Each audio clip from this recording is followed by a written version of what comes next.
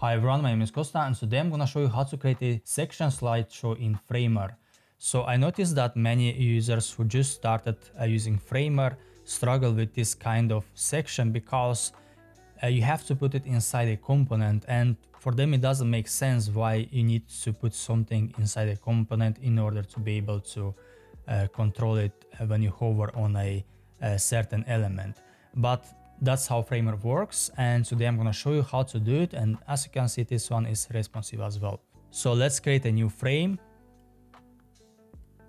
make it bigger, call it slideshow and then click on layout.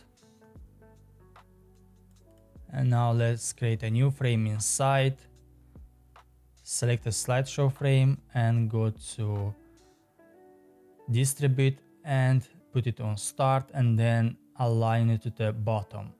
Now add a padding of 32 pixels. Right click create a component. All right let's make this wider. Next i'm gonna put some text inside. So i'm gonna type in porsche i can't see what i'm typing because the color of the text is white okay select the frame call it content holder and now click on layout select the text, duplicate it two more times. I think three slides is gonna be enough. So this is gonna be Audi. And it is gonna be BMW.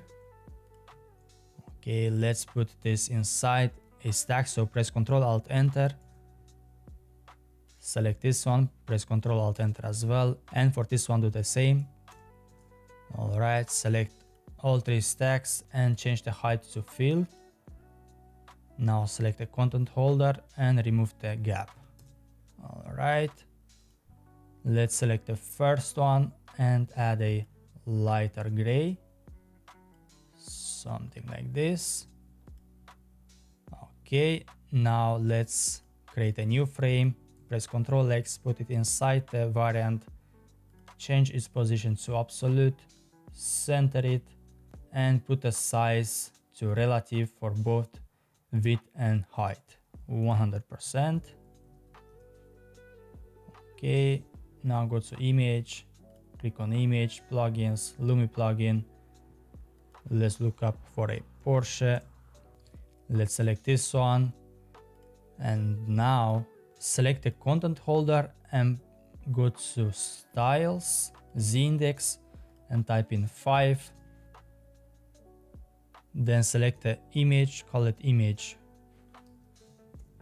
1 duplicate it two more times the second one is gonna be image 2 and the third one is gonna be image 3 the first image needs to have a z-index of 3 the second one z-index of 2 and the third one z-index of 1 all right create two more variants. Let's select the second variant, go to image 2 and look up for an Audi. So let's see if we can find one. Audi. I don't see one directly, but that's not an issue. I will just choose a random image. And now let's go to the third variant, image 3 and the same thing let's look up for a BMW okay again it doesn't matter that much so let's pick up a random image and now in the second variant select the first image and reduce the opacity to zero and in the third variant select the first and second image and reduce the opacity to zero as well Alright, let's select the first variant, drag the second one, click on appear 5 seconds, because we want every 5 seconds to see a new image. So that's why I'm using delay 5 seconds. Same right here, 5 seconds. And now select the third variant, drag to the first one, appear 5 seconds. Okay, let's check it out. and it should work. Okay, it works. Next, let's select this right here, change its color to this one and this one needs to have a black color and same right here. Let's select the BMW, change the color to uh, this gray and then the Porsche needs to have a black color. Alright, now what I'm gonna do, I will select the content holder, go to width and change to fill, add a max width of uh, 400 or whatever you want. Okay, so next I'm gonna select Audi, drag the second variant, mouse enter, and then let's select BMW, drag the third variant, mouse enter. And now I'm gonna select the BMW in the second variant, drag the third variant, mouse enter as well.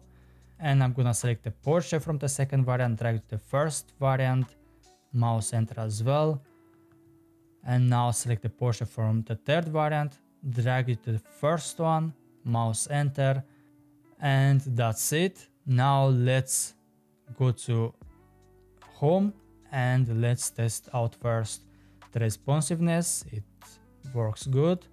So also it auto plays as well. Now let's test it out. And as you can see, everything works fine. So yeah, that is it for this video guys. Thank you so much for watching. See you next time.